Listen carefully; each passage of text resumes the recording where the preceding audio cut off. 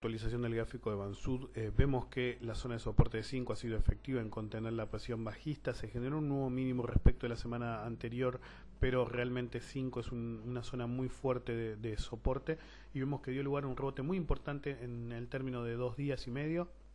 que alcanzó un 10% y la zona de resistencia de 5,50. Es normal lo que estamos viendo, la, duda de la zona de 5,50, ya que después de semejante baja, muchos eh, cada rebote lo aprovechan para tratar de salir de posturas muy mal eh, y por esa razón habría cierta resistencia a la zona de 5,50, pero todo apuntaría a que el rebote continuaría en una forma consolidada, con un objetivo principal en la zona de 6 pesos. Es decir, lo que estamos viendo ahora y hasta podríamos ver un nuevo mínimo en la zona de 5.20 aproximadamente, lo cual me parece improbable, pero podría darse en los próximos días que eh, se debilitara de nuevo el papel, pero todo apunta a que sería un movimiento contratendencial dentro de este movimiento que vemos aquí y se buscaría una continuación al alza importante. De hecho, ya está habilitado para un quiebre decisivo de la zona de 5,50 y así generar una, generar una búsqueda de la resistencia de 6 pesos. Se generó una señal de compra el día viernes que se confirmaría con un quiebre decisivo de 5,50 y esto habilitaría doblemente eh, la señal de compra y por un lado y por otro lado la búsqueda rápida de la resistencia de 6 pesos.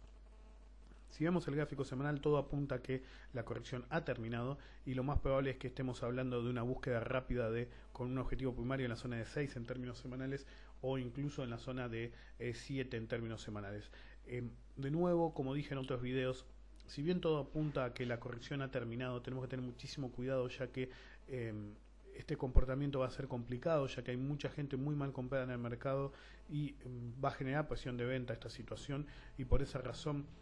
tenemos que ciertos papeles que han sido sobrevendidos, en realidad esto, este factor les jugaría a favor y no en contra. Por ejemplo, las fuertes ventas en corto que han tenido en Estados Unidos y en Argentina, el papel eh, Bansud, es decir, eh, Banco Macro Bansud, eh, es uno de los que se beneficiaría de esto. Si se prolongara el rebote, como vemos que es una posibilidad, es decir, si se quebrara decisivamente 5,50, la tendencia alcista, eh, ya sea de, mm, contratendencial o no, se aceleraría y permitiría una rápida búsqueda de la zona de resistencia con 6, de 6 a medida que las posiciones vendidas tengan que ser desarmadas. Y eso permitiría absorber las ventas de los que ven el rebote como una oportunidad de salida de un papel que ya habían dado por desahuciado.